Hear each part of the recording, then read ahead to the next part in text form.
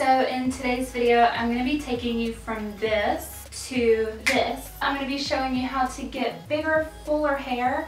This is perfect on second or third day hair when you just have like that lazy hair where it's just super flat and lifeless or maybe it's freshly washed but it's just not doing what you want it to do. This is a great way to give your hair some extra volume and lift and it's really quick and simple. It doesn't require like a full round brush blowout um, but it is going to give you the illusion of just much fuller, thicker looking hair which is great if you have fine hair or thin hair and you're just looking for ways to make it look like you have twice as much hair.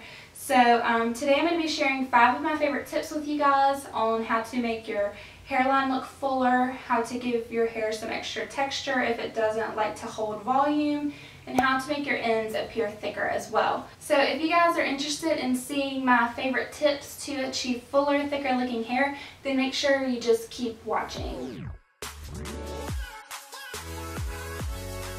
Okay, so the first tip that I have, this is a tip that I love to do, and I just mixed together in this spray bottle. This was a sea salt spray, but I created my own and I will put the ingredients here somewhere and I'll also leave it in the description down below.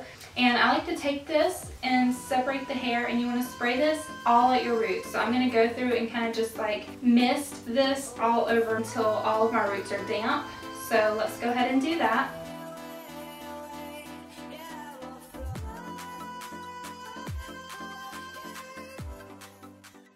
I'm just going to take my blow dryer. Just want to make sure that you have a concentrator on your blow dryer. This is a concentrator and this is going to direct the airflow so that you can get it right up next to your root.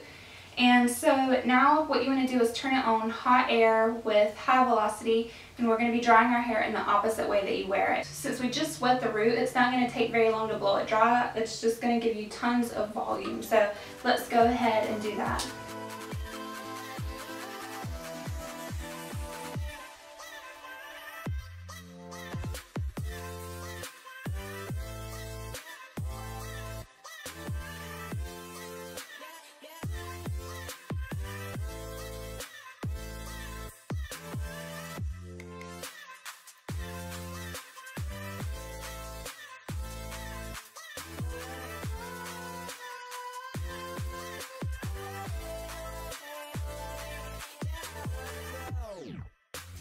Already see like how much more volume I'm getting at my roots and I have like a ton of texture in my hair. Um, which if you have fine hair, typically you like that feeling. I do. If your hair's already thick, then you're probably trying to figure out how to get rid of the volume, in which case you're probably not watching this video. So, alright, so now we got lots of texture in our hair. Before your hair has time to cool, go in with some big Velcro rollers. And the key to this is you want to make sure your hair is warm or hot when you're putting the Velcro rollers in. Um, I feel like I know a lot of people that will put Velcro rollers in while their hair is just like cool. And that literally does nothing. So I like to roll my bangs backwards, brush this kind of forwards. And we're going to wrap that back so that the Velcro roller is giving us the most volume. And I'm to put one more here in the back.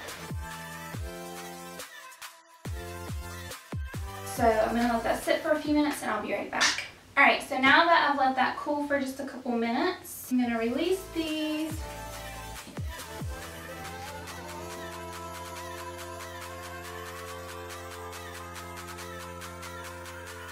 Your hair look a little bit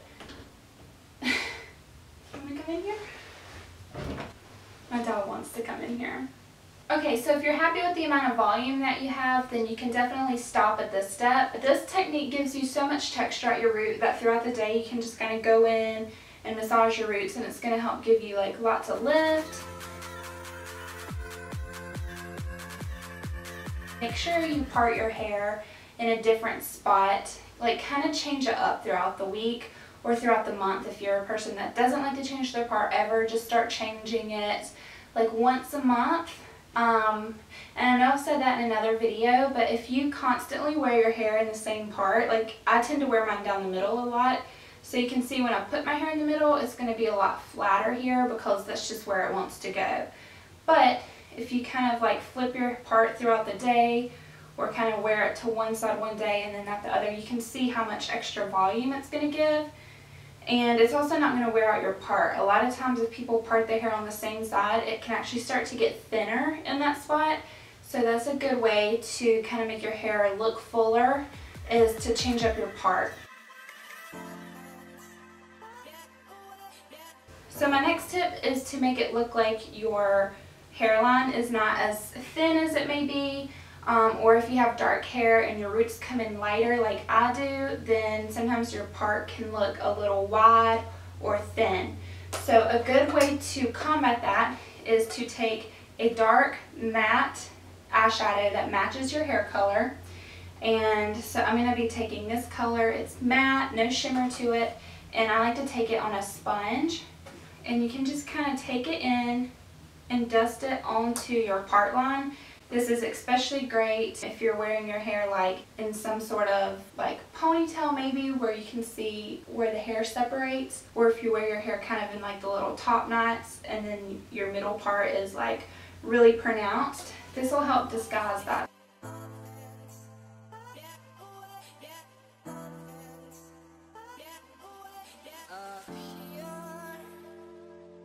Another way to do this is to get some sort of dry shampoo that has color in it.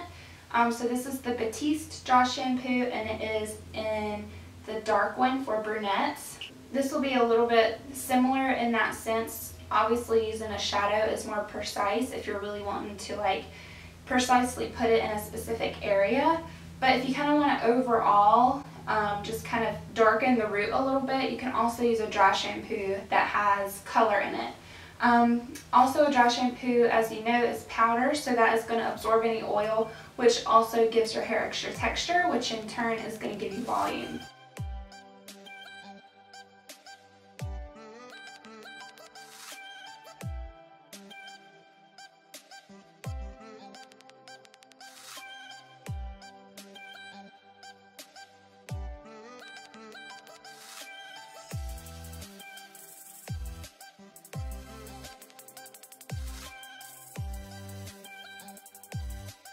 So my last and final tip to achieve fuller looking hair is to get some hair extensions that are the same length as your haircut. Um, you can use longer ones if you're wanting to do, if you're wanting your hair to appear longer, but if you're someone that doesn't want anyone to know you're wearing extensions, you just overall want your hair to look thicker, try getting a set of extensions, take them to your salon and have your stylist cut them at the same length as your hair now. And they are so easy to clip in in the mornings. You don't have to spend any time styling them. I like to do that on days that I don't really want to look like I'm wearing extensions, but I still feel like I want a little extra volume.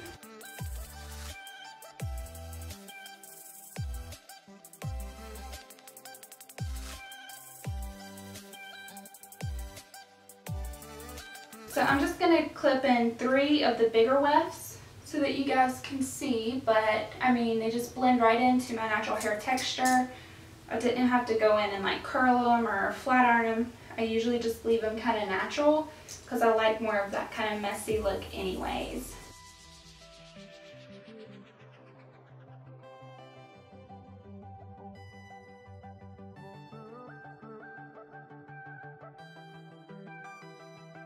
You can also go in if you like to tease your hair just a bit. That obviously is going to make your hair look a lot thicker at your crown. Um, and with the products we put in there at the root, it's going to hold the tease really, really well.